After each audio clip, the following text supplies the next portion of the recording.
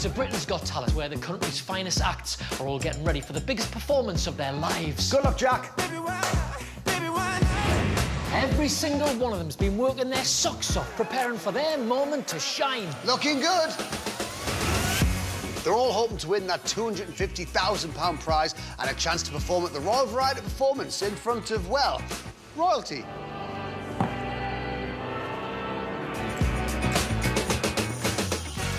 First, they've got to walk onto this stage and impress some very important people. Hello, everybody! We're doomed. We're doomed. Oh, you two have just got it. One arm up. Out, devil, out! It was stunning.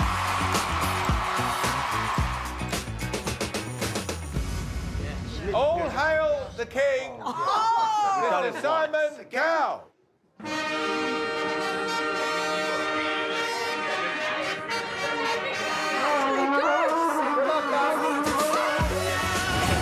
Do your best and go and live your dream. That's what it's all about. Just go down, go down.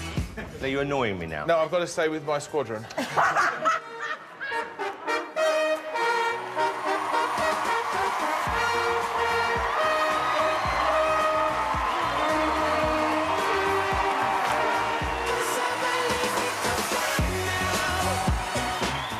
people.